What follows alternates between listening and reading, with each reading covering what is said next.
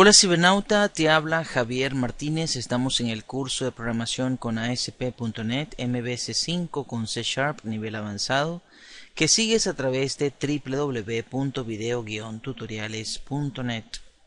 Bien cibernauta, entonces luego de haber finalizado lo que es eh, nuestro proyecto de editor con ASP.NET MVC5 y el TinyMC Vamos a pasar ahora a explicar lo que es el manejo de reportes en ASP.NET MVC5. Para ello, vamos a utilizar todos los recursos que nos ofrece esta plataforma, este entorno de desarrollo. La visualización en formato responsive va a correr por cuenta de Bootstrap Vamos a utilizar también el plugin Paged List que ya vimos en eh, videos pasados. Lo vamos a integrar en este nuevo proyecto que vamos a realizar a continuación sobre los reportes. Y un tercer plugin que vamos a utilizar de nombre rotativa que nos permite convertir páginas HTML en formato PDF. Además de ello, vamos a utilizar el desarrollo Code First para ir acostumbrándonos a ello, cibernauta, debido a que es la forma que sugiere Microsoft de trabajar.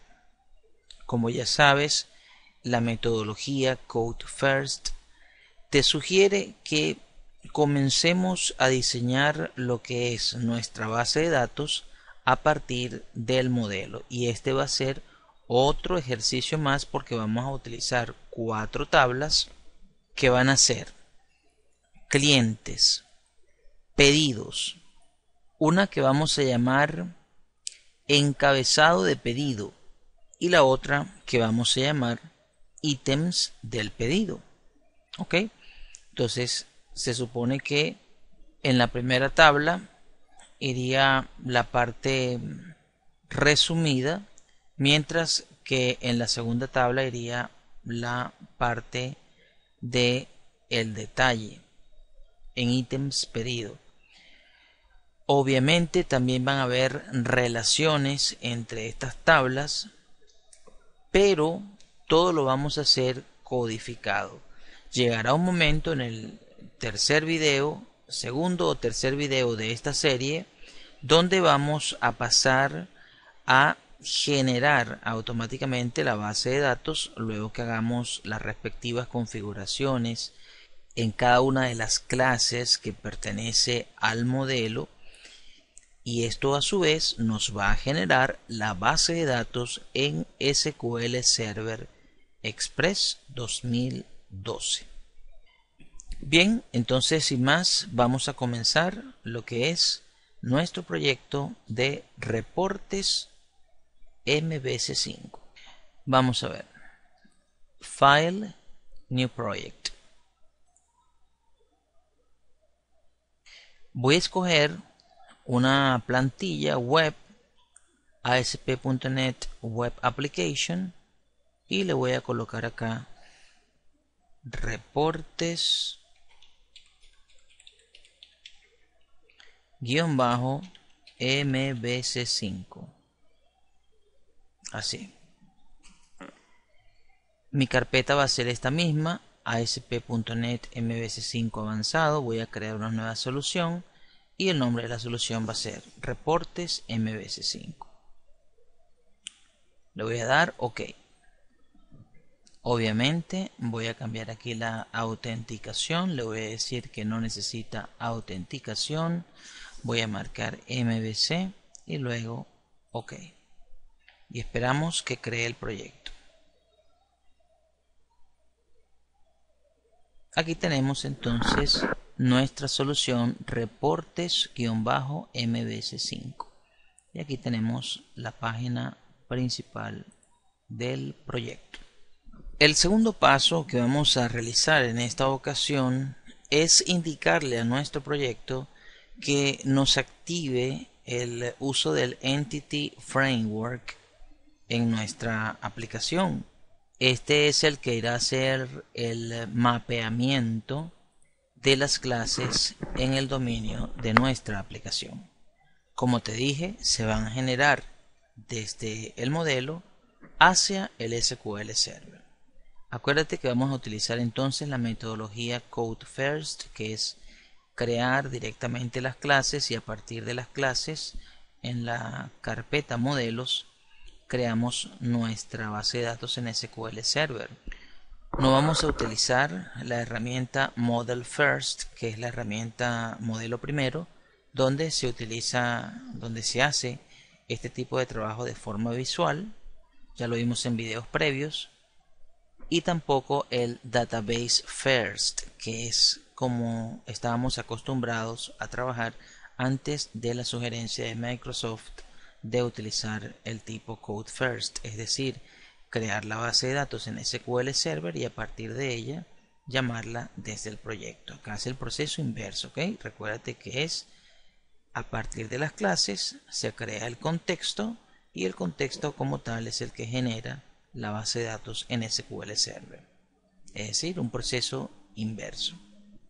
Entonces, para activar nuestra herramienta de Entity Framework que vamos a ver aquí en las referencias, una vez instalada nos vamos a Tools, Nugget Package Manager y Package Manager Console.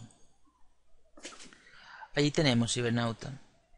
Esto ya lo conoces, vamos entonces a colocar aquí Install Package. Así. Entity Framework. Aquí sin espacios ok framework. Y le damos a enter. Esperamos entonces que él haga el proceso de instalación.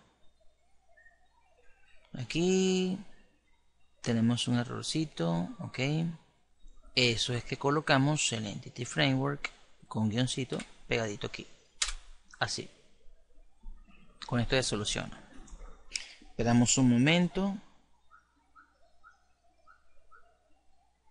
Y comenzó la instalación.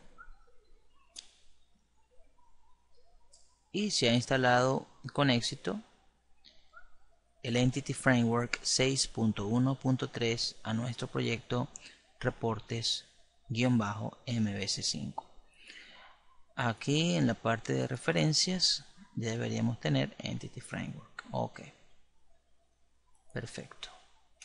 Bueno, entonces vamos a regresarnos a la parte de crear nuestra primera clase que va a ir aquí en la capa modelos. Vamos a añadir una nueva clase. Ok. Y esta va a ser la clase cliente. cliente. Vamos a añadir. Y aquí tenemos nuestra clase. B Cibernauta. Aquí en primer lugar vamos a crearnos un constructor, que esto no lo hemos visto hasta los momentos. Public cliente. Y aquí vamos a hacer referencia a una lista de objetos de tipo encabezado pedido. Vamos a colocar aquí mi llavecita y lo hacemos de la siguiente forma. This punto. Aquí no lo tenemos por los momentos, pero se va a llamar encabezado pedido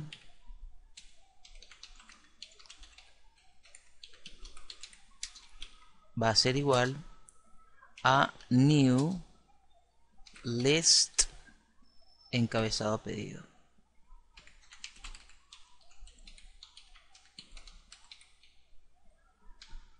Aquí vamos a cerrar punto y coma. Discúlpame aquí. Aquí viene un punto y coma.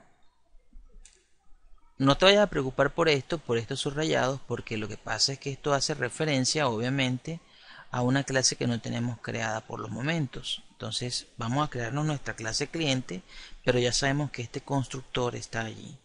También lo hubiéramos podido dejar para crearlo luego, pero mejor es dejarlo así y luego vamos a ir viéndole la lógica a lo que es la estructura de nuestro modelo, ya que ese dis que tenemos allí es, por decirlo así, la relación existente entre la tabla clientes y la tabla encabezado pedido.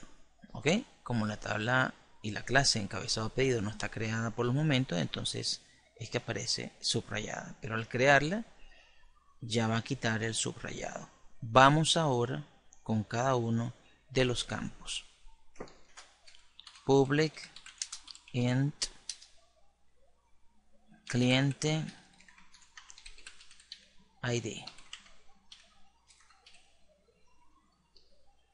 get set. Bien.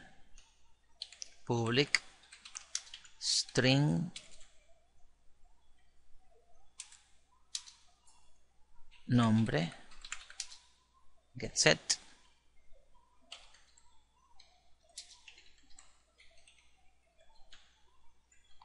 nos tomamos acá el get set public.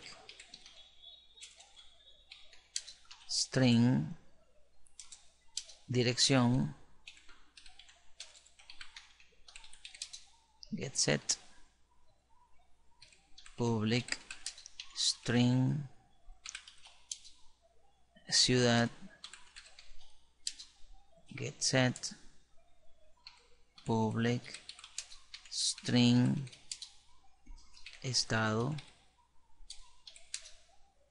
get set public string RIF registro de inscripción fiscal get set public string teléfono get set public. Epa, public string. Correo. Get set. Public string.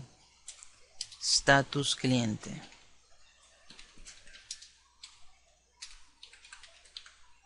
Get set. Public. Daytime fecha registro. Get set. Y ahora viene public virtual y collection. Collection. Encabezado pedido. Lo mismo de arriba. Encabezado pedido